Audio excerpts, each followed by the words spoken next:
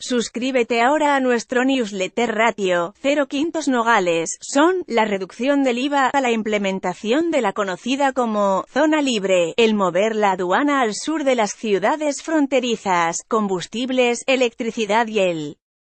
tema del salario mínimo, son algunas de las medidas propuestas por el presidente electo Andrés Manuel López Obrador que los industriales nogalenses aseguran beneficiarán de manera importante la dinámica económica de la frontera. Audio, ventajas como el fomento de compras minoritarias por extranjeros, así como aumentar el poder adquisitivo de los empleados de las maquiladoras y demás comercios son consecuencias positivas que esperan de llevarse a cabo las promesas de campaña. Hipólito Sedano, consejero nacional de Canacintra, señaló que varias de estas propuestas a entrar en efecto el primero de enero de 2019, han sido peticiones de los mismos empresarios al gobierno federal desde hace algunos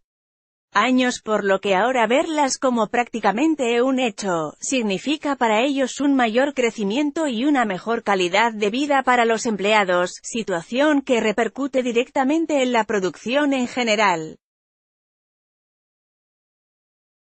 Habrán de repercutir definitivamente de manera favorable, en los temas que afectan a la región fronteriza, como el índice de inseguridad, la pobreza, el narcotráfico, la marginación, los feminicidios, temas que han venido afectando a los 3.000 kilómetros de frontera, afortunadamente en menor proporción en el caso de Nogales, dijo.